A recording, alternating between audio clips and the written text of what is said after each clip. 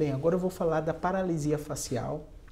A pergunta que eu recebi é, Júlio, quando a pessoa para metade do rosto, isso é um AVC, isso é uma paralisia facial? Parece que tiveram alguns casos de pessoas famosas que tiveram paralisia facial e foi falado muito disso, desse tema, né?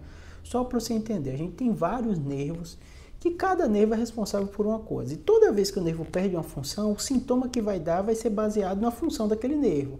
E o nervo facial, ele é responsável pela mímica facial. Então, quando a gente faz isso, faz isso, movimenta, a gente está usando o nervo facial.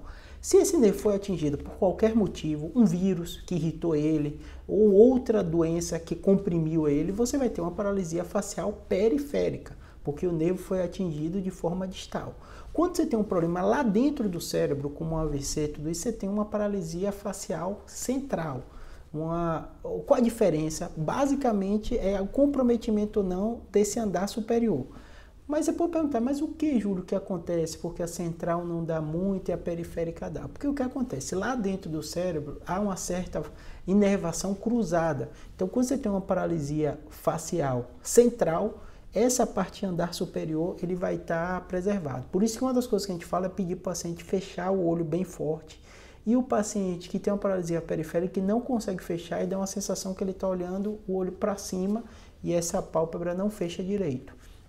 Na paralisia facial central, com AVC, outras doenças, tumor que dá lá dentro, ele pode dar justamente essa compressão e essa alteração vai dar basicamente uma alteração do andar inferior. Por isso que diz a boca ficou torta, né? Porque justamente para o lado que está fraco, você tem uma fraqueza e o lado que está bom dá a sensação que a boca está torta para o lado está bom, tá bom? Então, assim, espero que isso tenha ajudado. Sei que não é simples diferenciar, tem muitas doenças. Um, a gente está falando de uma doença benigna, paralisia facial periférica. Às vezes você dá um antiretroviral, um antiviral, às vezes você dá uma, uma, uma corticóide para melhorar a inflamação, outro você faz físio e melhora, e no outro você está falando de uma doença grave, que tem que internar, ver a causa, né, se foi um AVC, se não foi, mas dá para ter uma ideia, porque a diferença entre um e outro, tá bom? Espero que tenha ajudado, obrigado.